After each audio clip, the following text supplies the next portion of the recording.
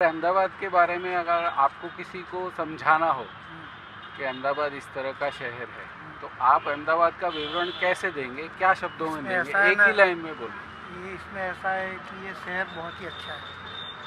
और नरेंद्र मोदी जी ने जो मेहनत किया है ना वो दिखता है। दिखता ही है जिसको दिखता है उसको दिखता है। देखो पहले तो पीसफुल है पंद्रह साल से। कोई राइट नहीं है कुछ भी नहीं है। और सब अपने हिसाब से चल रहे हैं। अब नरेंद्र मोदी जी के आने के बाद में मेरे तो लगता है सेंटर में भी अच्छा होगा। तो, तो होना चाहिए। और इसमें क्या है कि सभी लोगों का सहकार ज़रूरी। पहले तो क्या है कि अपने को ये सोचना पड़ेगा कि कोई आदमी जो कर रहा है उसको अपने कैसे सपोर्ट करते हैं? वो पहली पहली तो अपनी भी जो ज़िम्मेदारी बनती है मोदी जी अकेला क्या करेंगे?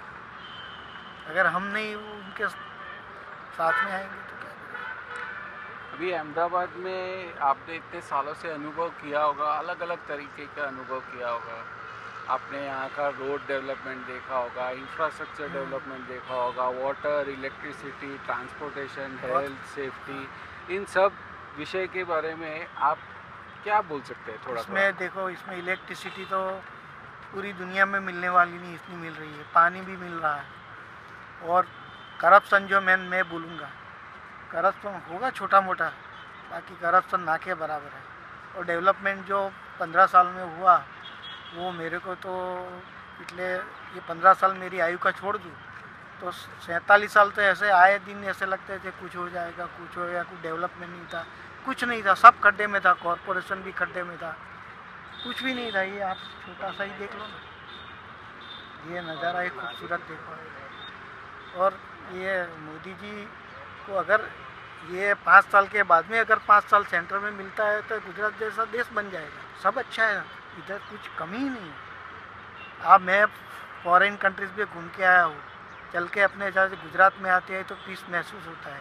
आज नवरात्र चल रहा है, देखिए आप। जो ट्रेडिशन तो है वो गुजरात की है। सर, आप कहीं भी जाओगे ना, मैं तो बहुत फॉरेन की टूर भी किया तो गुजराती ही मिलेंगे। और कोई कास्ट के नहीं मिलेंगे।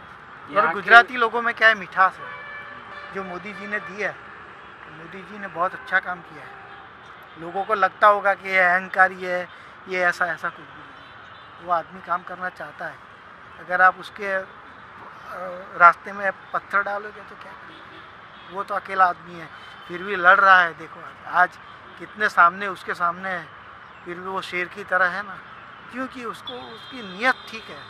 नीयत साफ़ है देश के लिए करना है देश के लिए करने वालों की सर में तो बोली ज़रूरत है। उस उन्होंने बोला था इंडिपेंडेंस डे पर, मेरा क्या और तेरा क्या यही तो दिक्कत है। देश के लिए करना है ना। देश के लिए करने के लिए अकेला एक आदमी काफ़ी नहीं है। सबको आना पड़ेगा। राजनीति से ऊपर उठना पड़ेगा। देश के लिए जाना पड़ेगा। चाहे पॉलिटिशियन हो, चाहे हमारे जैसा आदमी हो, मैं तो मानता हूँ। अपना होना चाहिए। मैं तो कई बार इधर कंप्लेन भी किया कि देखो भैया वो ये तो किसी की सोच है तो अपने तो बदल नहीं सकते। अपने को बदलना पड़ेगा सर। अब अगर अहमदाबाद को स्मार्ट सिटी बनाना हो हाँ तो ऐसे क्या तीन सुझाव आप दे सकते हो जिसमें आपको लगता है कि ये तीन सुझाव से आप अहमदाबाद को स्मार्ट सिटी की प्रगति करते हुए देखते हो? देखो अभी तो मैं अभी गेहर प्रॉपर्टी शो में गया था तो एसपी रिंग रोड पर 20-20 मंजिले 25-25 मंजिले की इमारतें बन रही हैं।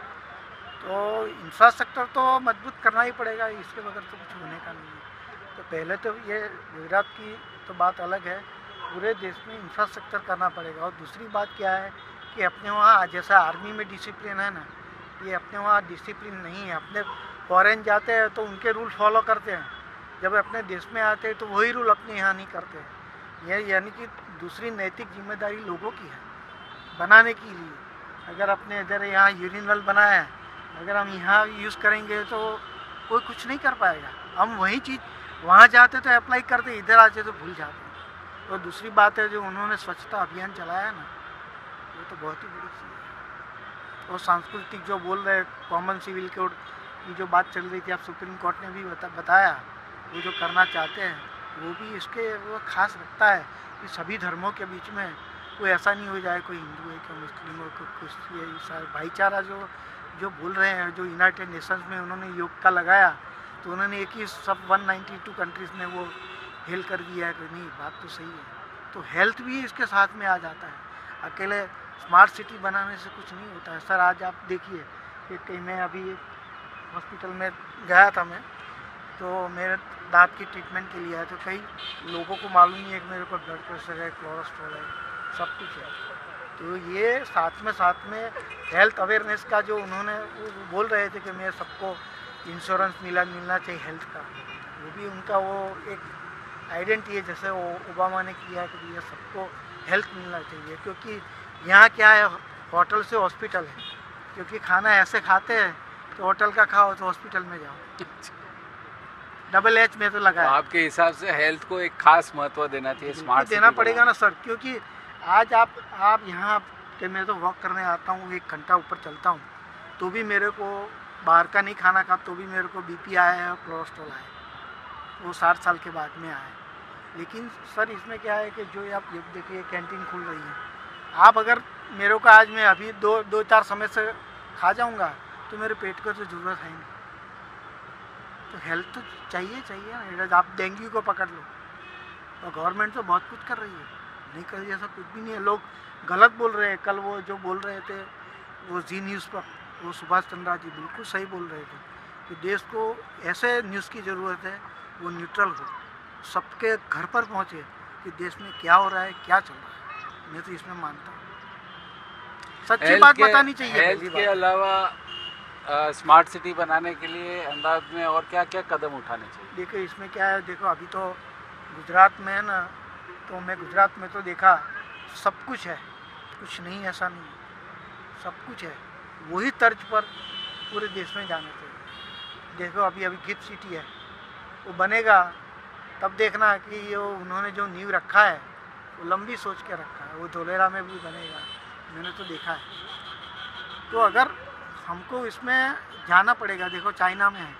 वो चाइना में मैंने अभी पढ़ा था कि चार पॉइंट टू मिलियंस का अभी वो बड़ा एक सिटी बना रहा है। वो डेवलप तो कर ही रहा है। वो टेन परसेंट की ग्रोथ जब तक अपने देश में दस साल पंद्रह साल नहीं आएँगे वहाँ तक तो कुछ होने का नहीं है ना सर। दस परसेंट तो होनी होनी चाहिए। उसमें मेन बात है कि नरेंद्र मोदी जैसा आदमी की बहुत ज़रूरत है। अगर ऐसा आदमी नहीं है तो अपने पास सब कुछ होने के बाद में भी कुछ भी नहीं है। मैंने सब सब कुछ देखा है। और दूसरी बात के एजुकेशन के बारे में सर आपका क्या कहना है? एजुकेशन के बारे में एजुकेशन में मेरा लड़का ही सी है। तो एजुकेशन तो बहुत हुआ है। एजुकेशन ही, मैं यही बोलने वाला था अपने मतलब आज के यंगस्टर है ना, वो अपने भविष्य है। उनको सही दिशा में ले जाने की ज़रूरत है, जैसे पंजाब में ड्रग ड्रग वाले लड़के हो गए, वैसे हो गए। वो उसको, उससे वो बदियों से दूर कैसे रखेंगे? जब तक एजुकेशन है, मैं श्रीलंका गया था मई महीने में तो वहाँ 97.2 परसेंट लोग एजुकेटेड है। तो एजुकेशन तो बहुत ज़रूरी, वो हृदय है अपने देश का। मैं ऐसा मेरी मेरे घर पे सब एजुकेटेड है। तो अवेयरनेस तो पहले है सब मैं ट्रैफ़िक की बात करूँ मैं गाड़ी में सामने रखी है मेरी मैं रूल फॉलो करता हूँ।